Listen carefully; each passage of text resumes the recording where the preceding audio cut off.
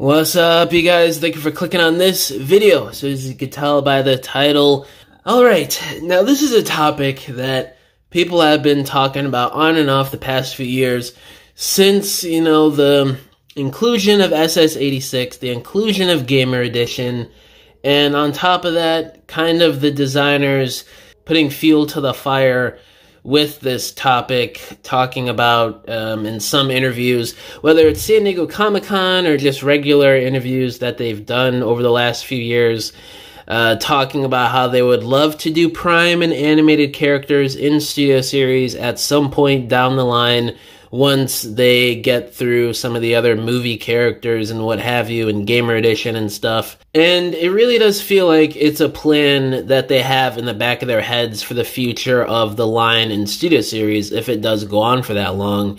Now, I don't know how long Studio Series is going to last, if it's going to be like a thing like Marvel Legends or Star Wars Black Series for Transformers, where it goes on for another 15, 20 years or something crazy like that. That would be nice. I mean, I've been saying this for a long time and thinking this for a while now that Transformers needs one dedicated toy line that just runs for as long as Hasbro can do it. That's just aimed at collectors where we get highly detailed, articulated, accurate designs and figures for characters.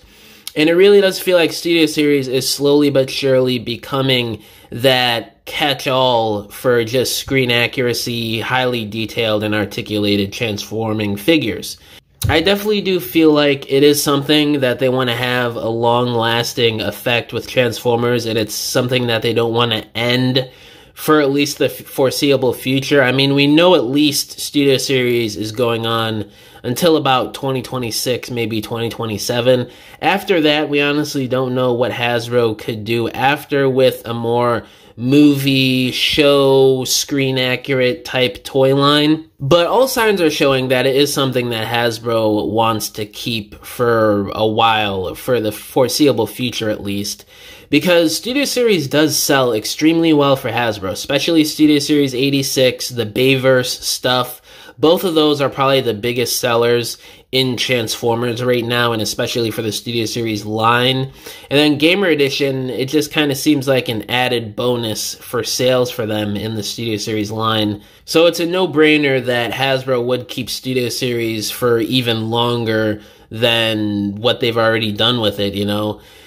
But with animated and Prime going forward, we've been getting the Legacy Generations updates uh, for the past couple years now. It's been hit or miss. A lot of people like them, a lot of people don't like them. There have been good figures, bad figures. I think the majority of the animated ones we've gotten so far have been pretty great.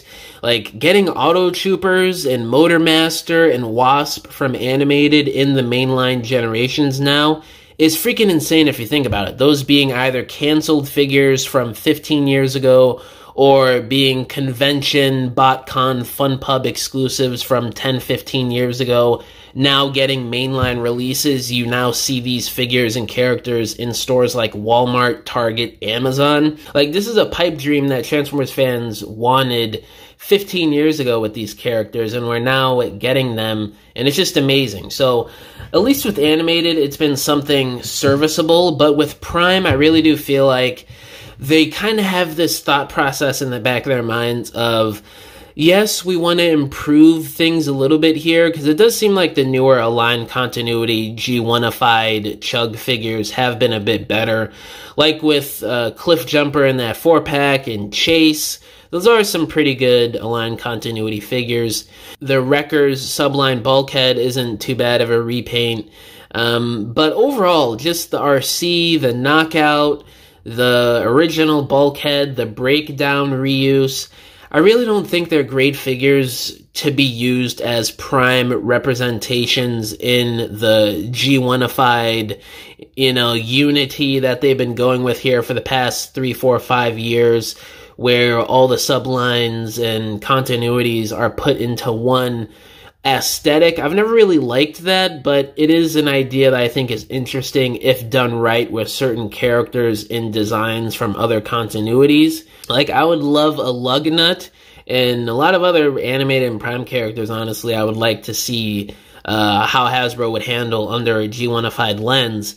But fact of the matter is, it's been hit or miss, especially with the Prime stuff. And it feels like Hasbro is kind of, you know, holding back with these regular generations updates so they could put them in a more screen accurate generations studio series umbrella because a lot of people seem to forget especially i notice in my comment section sometimes that it seems like people don't realize that Studio Series is also classified as generations. If you go back through history, the last 10 or so years, the movie sublines have been labeled generations since Age of Extinction.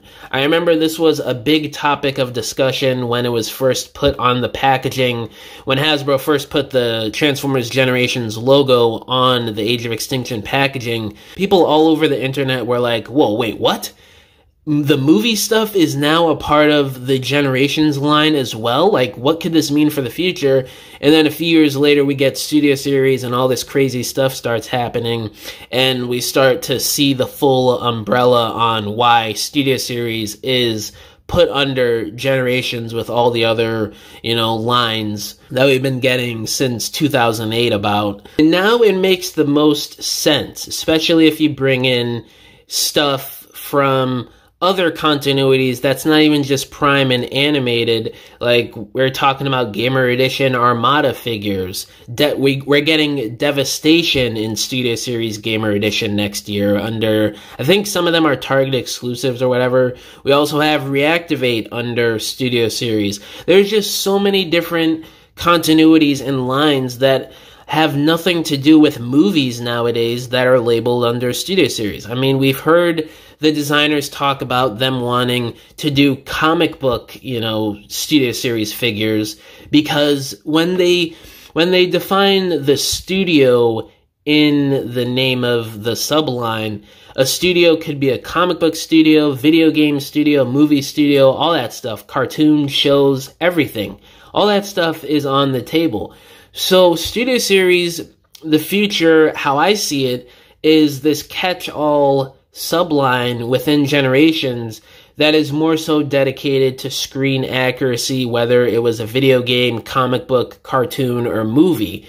And then regular generations that isn't Studio Series is more so about just creating generalized depictions of these characters in a figure form that fit under one unified uh, design philosophy, which would be the G1 aesthetic. If you put it that way, it really does make sense, and it really does seem like Generations is splitting off into two different uh, sublines here for the future. Studio Series, more so for screen accuracy stuff. Doesn't matter who it is nowadays. It can be anything from, uh, you know, cartoons, comic books, video games. It doesn't have to just be movie figures anymore, which is amazing if you ask me. I honestly think this is a great idea, guys.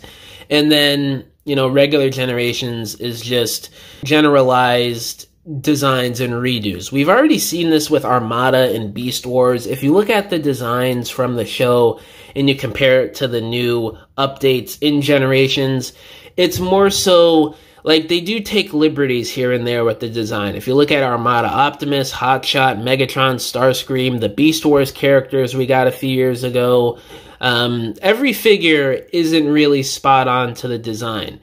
And I really do feel like that's an excuse, however many years down the line, if Studio Series is still called Studio Series or if it's got a different, you know, subline name, but it still has the same philosophy of the line giving us screen accurate versions of characters, that maybe we'll see Beast Wars figures in Studio Series or Armada redos or whatever so I really do feel like it's going to be this catch-all thing in the future, and they've been building up towards that since 2020. But um, yeah, animated in Prime definitely happening in Studio Series. If you look at the signs, everything the last couple years, it's definitely aligning to something with them in the line. And even the designers have talked about doing it at some point soon. And when could we expect this? I'm thinking maybe 2027, 2028 at the earliest. I really do feel like 2026 for the 40th anniversary of the 86 movie. They're going to try and knock out a lot of, if not all of those characters. So they could move on to the next subline within Studio Series that would be more cartoon accurate characters and figures that would apply with Prime and animated. That's what I think the plan could be, but obviously I'm just speculating and I could be wrong. But yeah, guys, let me know. Let me know down in the comments below. How do y'all feel about animated and Prime being in Studio Series at some point soon? When do you think it will happen, and what do you think it's going to be like? All my social medias are linked down below, including my email if you guys want to hit me about business inquiries, if you want to message me about whatever, or if you want to commission a diorama from me because I make dioramas for people for their stop motions, photography, or irregular display shelves in your homes. You can either hit me up on any of my social media accounts or just email me and we can work out a deal. But yeah, guys, thank you for watching this video. Catch y'all in the next one. Bye!